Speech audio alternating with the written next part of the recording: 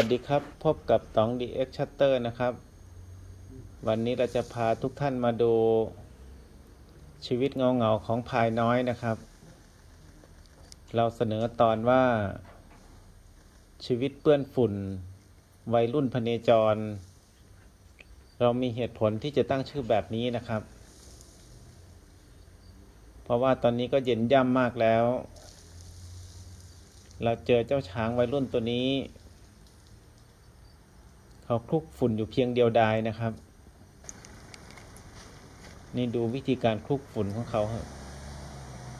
เขาใช้งาทิ่มแทงลงไปที่ดินโป่ง จากนั้นก็ใช้งวงหยิบจับขึ้นมานะครับ ดินโป่งนอกจากที่เขาจะกินแล้ว เขายังเอามาอาบตัวด้วยนะครับ เหมือนกับเป็นการอาบน้ำปะแป้งแต่งตัวอะไรประมาณนั้น ปกติช้างตัวขนาดนี้น่าจะไม่ออกจากโขงนะครับ น่าจะยังอยู่ในโขง เพราะน่าจะยังไม่ถึงช่วงฤดูที่จะผสมพันธุ์ แต่เราไม่รู้เหตุผลกลใด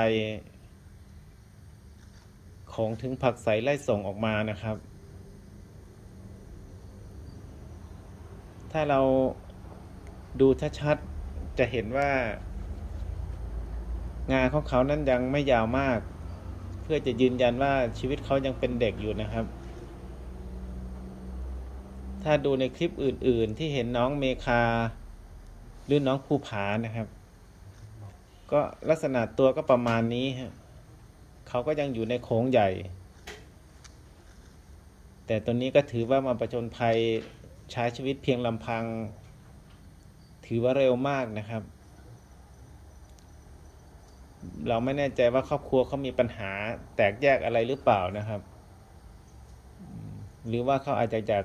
แสวงหาประสบการณ์ชีวิต อาจจะไปเรียนต่างประเทศตั้งแต่วัยเด็กนะครับ ก็เลยคุ้นเคยที่จะอยู่เพียงเดียวดายแต่ดูลักษณะทั่วไปเขาก็อ้วนท้วนสมบูรณ์นะครับ ไม่มีอะไรน่าเป็นห่วง หรือบางทีเขาอาจจะเป็นหน่วยสเกาหน้าของโขงใหญ่ ที่เดินหาสำรวจเส้นทางทำมาหากินก็เป็นได้นะครับ ดูการอาบฝุ่นของเขานะครับ แต่ดูแล้วดูเขาก็เป็นชีวิตเงาเงาอยู่เพียงเดียวดายนี่ครับเขาสาดฝุ่นขึ้นไปหาตัวแบบนี้นะครับ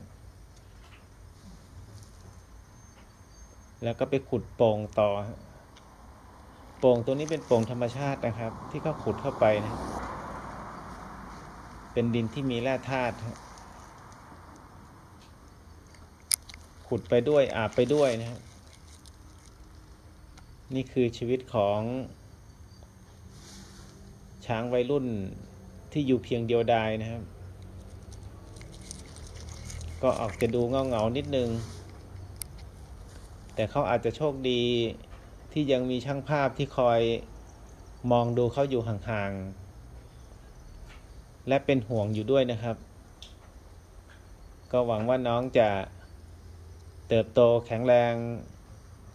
เป็นพี่ใหญ่ใจดีบนอุทยานแห่งชาติเขาใหญ่ของเราในวันข้างหน้านะครับ ขอบคุณที่ติดตามรับชม สวัสดีครับ